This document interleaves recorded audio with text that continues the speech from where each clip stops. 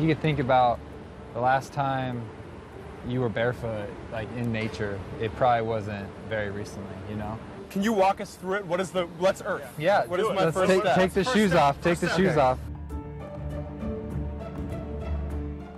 I first learned about grounding maybe 12, 13 years ago through one of the trainers for the Tour de France team from the US, and he was using it with many of their athletes and with surprising results. And I think this surprising best summarizes my response to it because it didn't seem to make sense.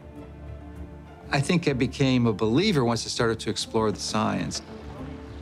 ATP is short for adenosine triphosphate. It's the energy currency of the cell.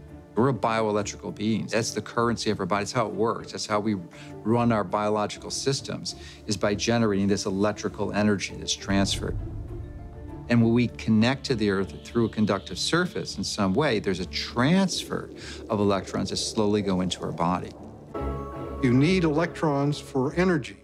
It's called the electron transport chain in mitochondria. It generates adenosine triphosphate, or ATP. It's the energy molecule in the body. I tell athletes that before an event, stand 15 minutes in your bare feet on the grass, and you will charge up your electron stores. And should you fall down, and athletes fall down, you will not have inflammation at all. We tried to figure out how much charge the body takes in when you touch the earth. What happens is the body saturates with electrons practically instantaneously. It's so fast that you can't measure it.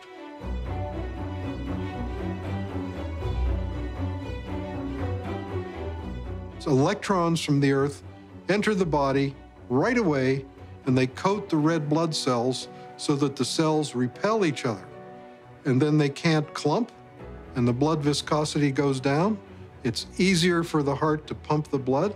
The blood pressure goes down. All kinds of cardiovascular issues, they go away.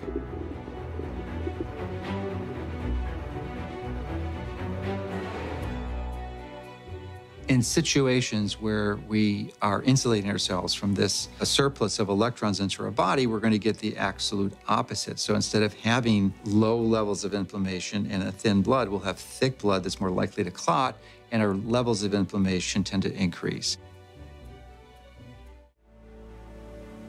There's a well established, traditional, conventional system that relies on expensive intervention. So they'd like to perpetuate that, and they're not too interested in having some competition coming in for a lot less expensive to sort of sabotage their profit levels.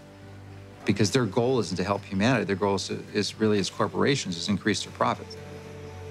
The question becomes, you know, how much of an influence has lack of grounding been in the epidemic of disease that we have? Is this grounding a factor?